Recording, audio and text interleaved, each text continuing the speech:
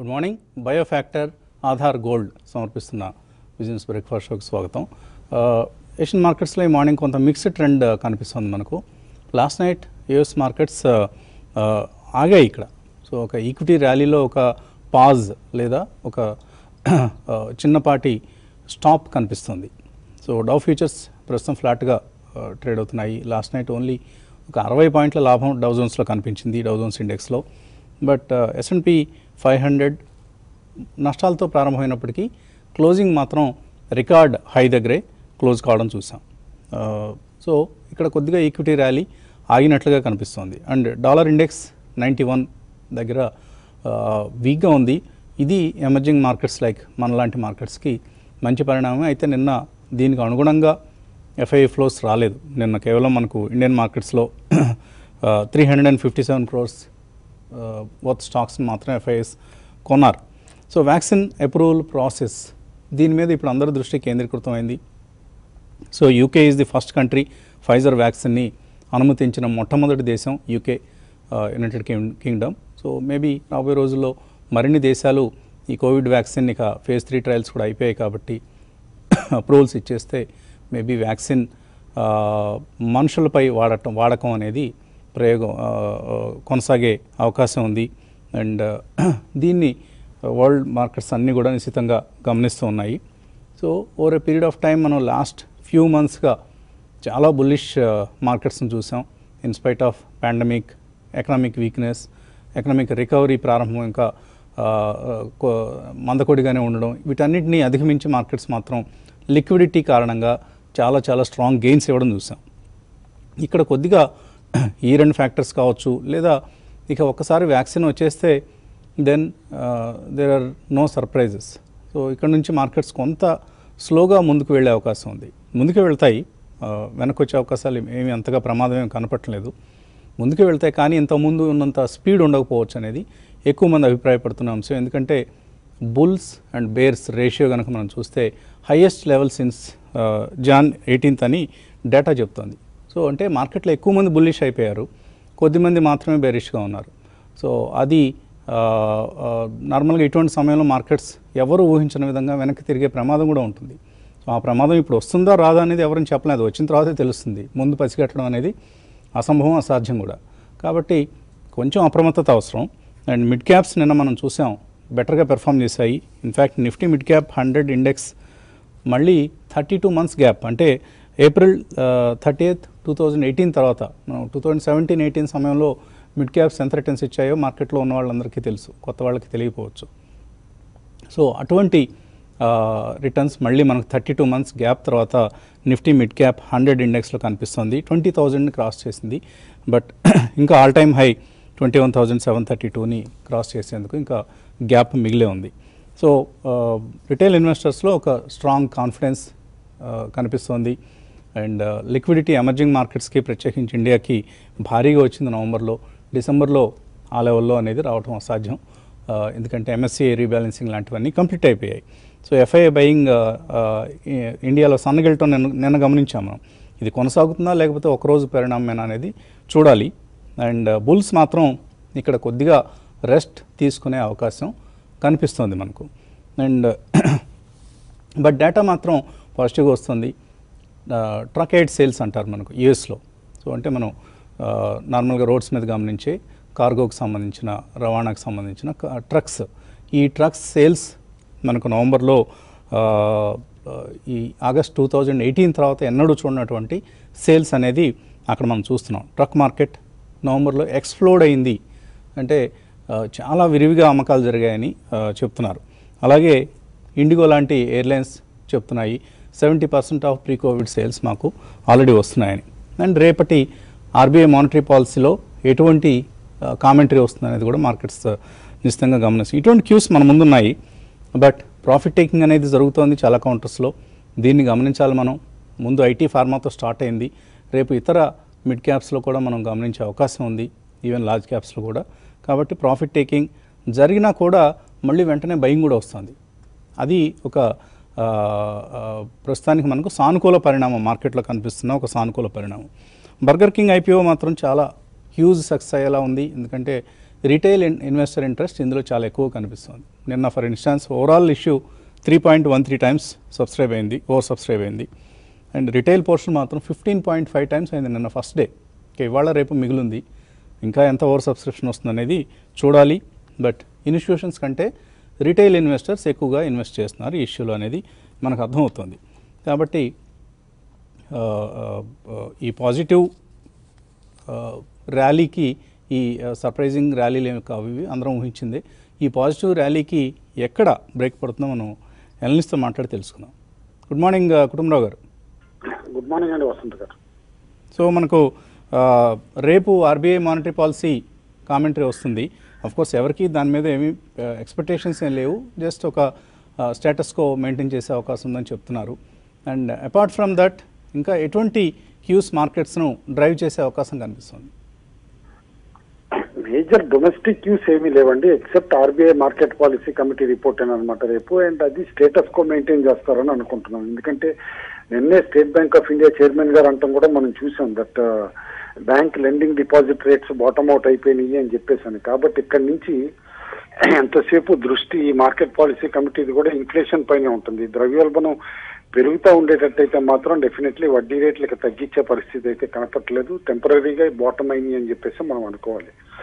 కాబట్టి RBI policy status quo maintain చేస్తే market పైన పెద్దగా ఇంపాక్ట్ ఉండకపోవచ్చు. ఇన్ఫాక్ట్ పాజిటివ్ గానే ఉంటుంది. ఎందుకంటే వాళ్ళ కమెంటరీ ఎట్లా ఉందనేది చూడాలి. కమెంటరీ హాకీస్గా కాకుండా డోవిష్ గానే ఉండి ఇన్ఫ్లేషన్ కంట్రోల్ చేయగలుగుతుంది.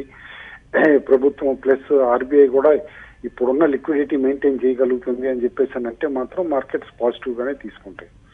అయితే గ్లోబల్లీ మాత్రం డెఫినెట్లీ ఏదైతే వ్యాక్సిన్ ర్యాలీ అని చెప్పేసి అని మనం అనొచ్చో దానికి మంచి ఊతం కూడా వచ్చింది నిన్న. ఎప్పుడైతే యూకేన్ అనమాట ఫైజర్ అప్రూవ్ చేసి ఫస్ట్ రోల్ అవుట్ కూడా చేసేస్తున్నారు వ్యాక్సిన్ ఈ వారంలో. That is a positive thing ఎందుకంటే ఇక నుంచి టేకెన్ ఫర్ గ్రాంటెడ్గా ఉంటారు. That economy will become normalised in twenty twenty one second half కల్లా. ఎందుకంటే ఈ వ్యాక్సిన్ డెలివరీ అప్పుడు ఆల్ ఓవర్ ది వరల్డ్ ఉంటుంది కాబట్టి అని చెప్పేసి అని ఇది ఎందుకు కీలకం అవుతుందంటే బేసికల్లీ ఎకానమీస్ రికవర్ అవుతున్నా కూడా బయట కూడా సర్వీస్ సెక్టర్ ఇంప్రూవ్ అవ్వట్లేదు పెద్దగా అని చెప్పేసి అని నిన్న జపనీస్ ఎకానమీ రిపోర్ట్ ఏదైతే వచ్చిందో అది క్లియర్లీ రిఫ్లెక్ట్ చేస్తుంది. అడ్వాన్స్డ్ ఎకానమీస్లో సర్వీస్ సెక్టర్ రికవర్ అయితేనే నార్మల్సీ వచ్చినట్టు అనుకోవాలి మనం. కాబట్టి దానిపైన ఇంపాక్ట్ ఎట్లా ఉందనేది ఈ నెక్స్ట్ ఫ్యూ వీక్స్ ఎందుకంటే వ్యాక్సిన్ ఇప్పుడు యాక్చువల్గా రోల్ అవుట్ అవుతుంది కాబట్టి అబ్జర్వ్ చేయాల్సి వస్తుంది. అయితే ఓవరాల్గా ఈ పాజిటివ్ క్యూస్ మనం రిపీటెడ్గా ఒక వన్ అండ్ హాఫ్ మంత్ నుంచి చెప్తున్నాం. కమాడిటీస్ పైన ప్లే చేస్తుంది ఎస్పెషల్లీ సైక్లికల్ కమాడిటీస్ పైన అని చెప్పేసి అని చెప్తానే ఉన్నాం. ఐరన్ ఓర్ ప్రైజెస్ చూస్తే కనుక రెండు వేల పదిహేనులో నలభై డాలర్లు టన్ ఉన్న ఐరన్ ఓరు ఇవాళ నూట ముప్పై డాలర్లకు వచ్చేసింది. ఫిఫ్టీన్ ఫైవ్ ఇయర్స్లో దాదాపు టూ హండ్రెడ్ పర్సెంట్ పైన పెరగటమే కాకుండా ఇట్ ఈస్ ఎట్ మరో మోర్ దాన్ డికేడ్ హై అదేవిధంగా స్టీల్ ప్రైజెస్ కూడా దాదాపు టూ ఇయర్ హైస్ దాటిపోయింది. క్రూడ్ ఆయిల్ ప్రైజెస్ పెరుగుతున్నాయి ఇప్పుడు. డెఫినెట్లీ డాలర్ ఏమో వీక్ అవుతుంది. ఎందుకంటే యాజ్ లాంగ్ యాజ్ వ్యాక్సినేషన్ వస్తుంది ఇదంటే కనుక ఇక డాలర్ అన్నమాట స్లోలీ వీకెన్ అవుతా టూ అండ్ హాఫ్ ఇయర్లోకి వచ్చేసింది డాలర్ కాబట్టి ఈ మైక్రో ఫ్యాక్టర్స్ చూస్తూ ఉంటే మాత్రం డెఫినెట్లీ స్టాక్ మార్కెట్ ర్యాలీ మాత్రం కంటిన్యూ అవుతుందని చెప్పొచ్చు. But definitely last three four మంత్స్లో ఉన్న స్పీడ్లో అయితే కాదు. కన్సాలిడేషన్ అవుతా ఎప్పటికప్పుడు చిన్న చిన్న స్పీడ్ బ్రేకర్స్ ఉంటాయి. వాటిని క్రాస్ అవుతానే ముందుకెళ్తా ఉంటుంది. అయితే interesting factor maybe this is only దృష్టిలో పెట్టుకోమని చెప్తాను. నేను ఆప్షన్ యాక్టివిటీలో చూస్తా ఉంటే ఫోర్టీన్ థౌసండ్ కాల్ ఆప్షన్ యాక్టివ్గా ట్రేడ్ అయింది.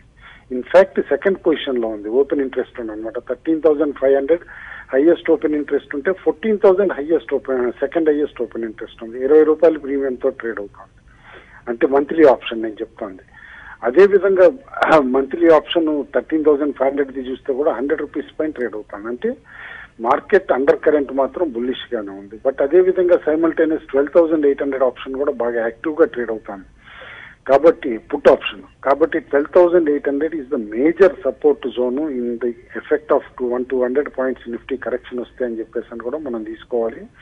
All medium term పొజిషన్స్కి twelve thousand eight hundred should be the stop loss and downside on upside మాత్రం అన్చార్టెడ్ టెరిటరీ కాబట్టి మనం చెప్పలేం ఎంతవరకు వెళ్తుంది ఏంటనేది. But every decline is a buying opportunity ఎందుకంటే మిడ్ క్యాప్ స్మాల్ క్యాప్లో చూస్తున్నాం. హ్యూజ్ యాక్టివిటీ ఉంది. అండ్ ఇన్ఫాక్ట్ నిన్న number of stocks at circuit breaker చూస్తూ ఉంటే మోర్ దాన్ ఎయిట్ హండ్రెడ్ పైన ఉన్నాయి బీఎస్సీలో either at twenty percent circuit అవనండి ten percent అవనండి five percent అవనండి కొన్ని కేర్ఫుల్గా 2% ఉండాలి. ఈ అవనండి. సమయంలో చాలా కేర్ఫుల్గా ఉండాలి. చాలా అప్రమత్తంగా ఉండాలి. ఎందుకంటే కొంచెం ఇర్రేషనల్ ఎగ్జూబరెన్స్ అయితే కనిపిస్తోంది మిడ్ క్యాప్. స్మాల్ క్యాప్లో. కాబట్టి కేర్ఫుల్గా ట్రేడ్ చేయమంటాను బట్ యూజ్ డిక్లైన్స్ చేసే బయింగ్ ఆపర్చునిటీ ఓకే అండి. చిన్న బ్రేక్ తీస్తున్నాం. బ్రేక్ తర్వాత బాలాగారితో రాజేంద్ర గారితో మాట్లాడదాం.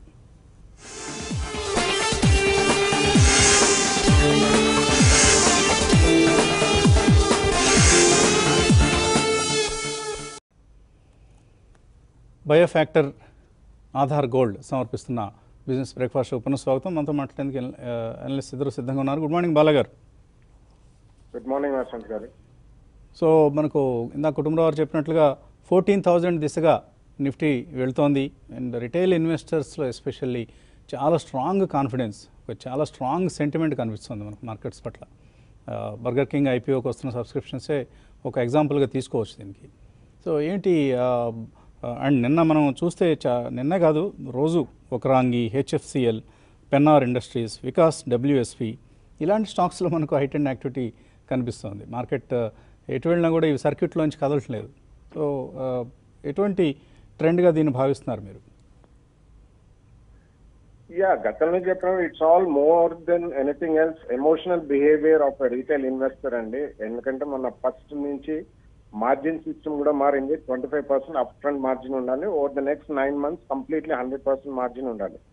సో ఇందాక కుటుంబరావు గారు చెప్పినట్టు అబౌట్ ఎయిట్ హండ్రెడ్ స్టాక్స్ సర్క్యూట్లో ఉన్నాయంటే దట్ షోస్ యునో మనకి high price is becoming a barrier for a retail investor so psychologically వాళ్ళు ఏంటంటే you know either app based traders or even offline online ఎవరైనా they are changing stocks at whatever maybe the price which are price attractive so మనం first అర్థం చేసుకోవాల్సింది ఏంటంటే this train will continue అండి but the market is not peaking out ultimately జరిగేది ఏంటంటే will get stuck market బాగానే ఉంటుంది అందులో డౌటే లేదు. మనం గతంలో చాలా సార్లు చెప్పినట్టు in a good market it is difficult to make money because of the psychological disturbance చిన్న చిన్న స్టాక్స్ చేజ్ చేసి అందులో మనకి వన్ ఆర్ టూ డేస్లో పెరగాలి ఆర్ వన్ ఆర్ టూ మంత్స్లో పెరగాలి అనుకుంటారు they may some of them may do it but ultimately that's not good అండి. బట్ మార్కెట్లో మాత్రం mid small and micro cap స్టాక్స్లో విపరీతమైన యాక్టివిటీ జరుగుతుంది because of the margin system and also fundamentally strong shares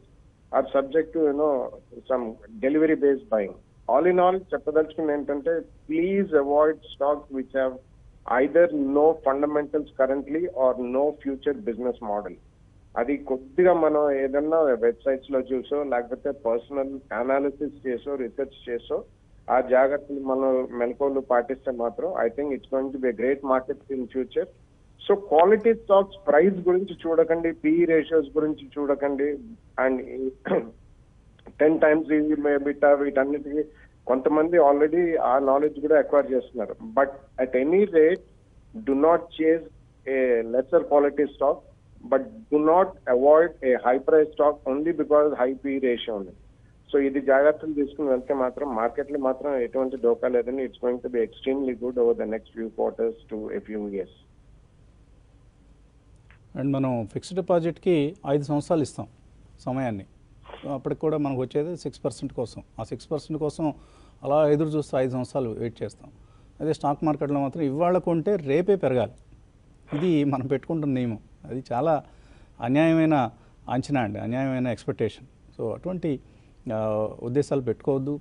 Give stocks time to perform. మీరు కొన్న రోజు నుంచి one year two years three years time ఇవ్వాలి. అంతేగాని కొన్న మరుసటి రోజు నుంచి ఇంపేషన్స్ మొదలైపోతుంది. పక్కవేవో పెరిగాయి మనది ఎందుకు పెరగలేదు.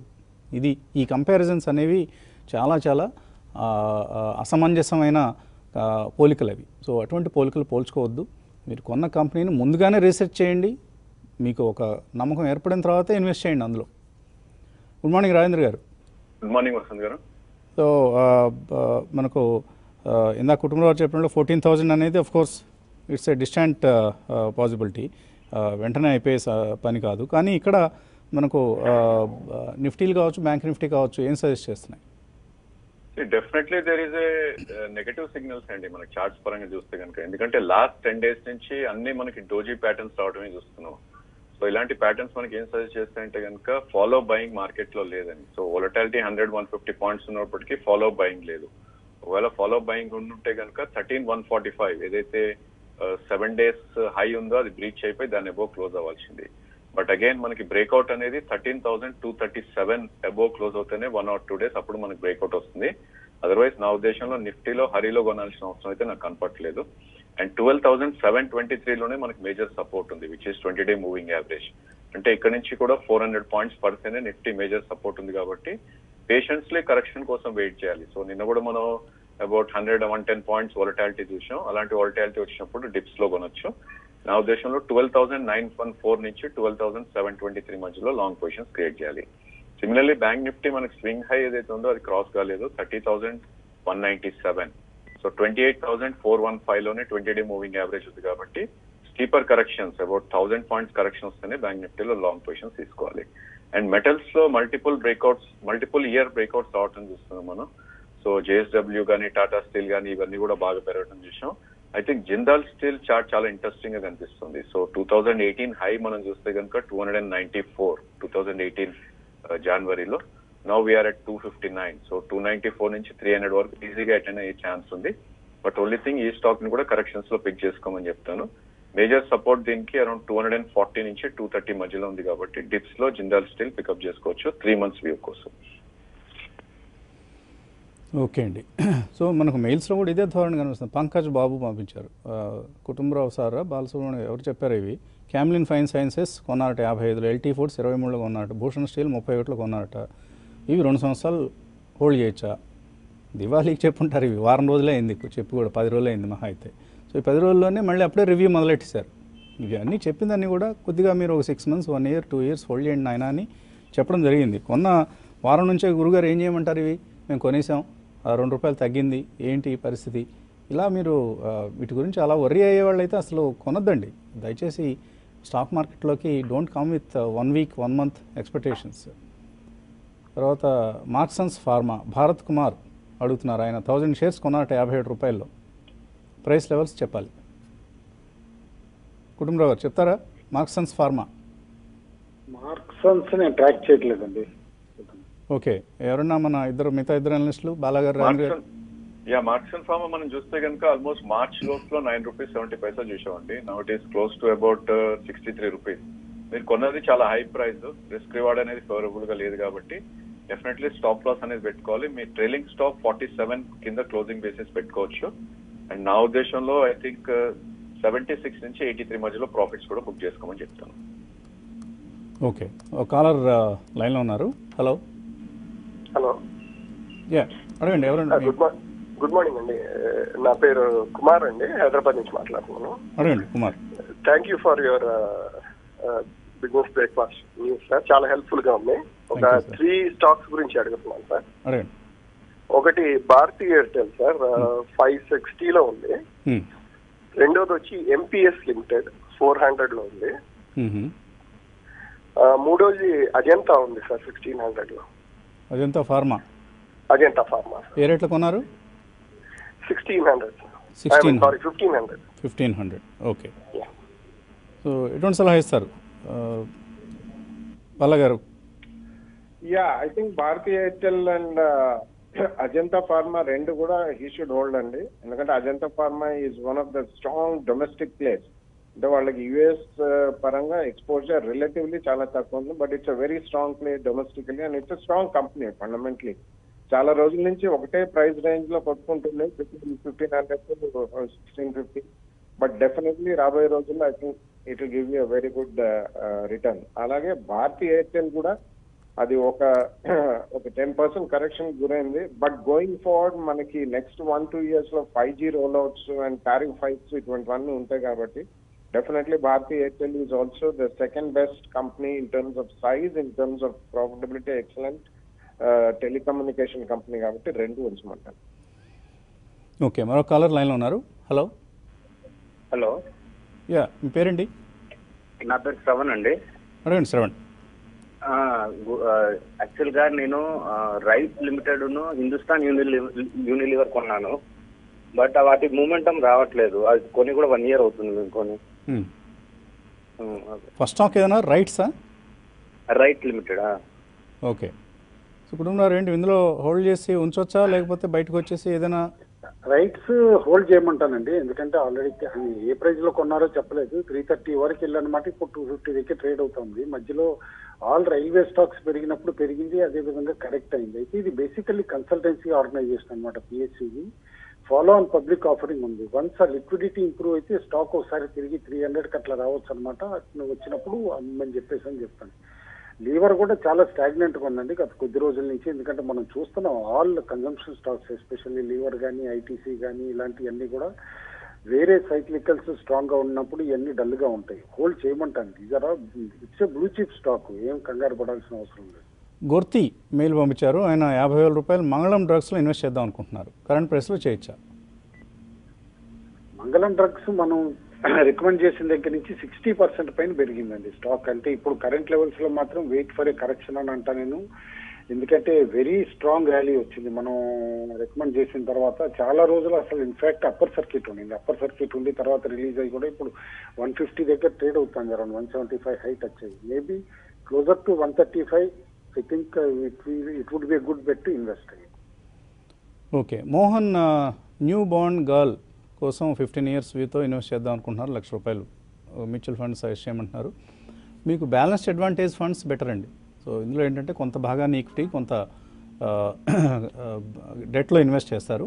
సో క్యాపిటల్ ప్రొటెక్షన్కి ఎక్కువ ఇంపార్టెన్స్ ఇస్తారు. ఇంకా అది కూడా వద్దు ఆర్ఎస్ కూడా నాకు వద్దు అనుకుంటే గో విత్ యూటీఏలో హెచ్డిఎఫ్సిలో వీటిలో చిల్డ్రన్స్ గిఫ్ట్ గ్రోత్ ఫండ్స్ అని ఉన్నాయి.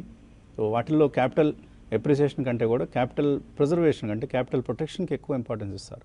సో మీకు ఫిఫ్టీన్ ఇయర్స్ వ్యవధి ఉంది. కొద్దిగా రిస్క్ తీసుకోవచ్చు అనుకుంటే definitely go with balanced advantage funds అందులో uh, బెటర్ రిటర్న్స్ వస్తాయి.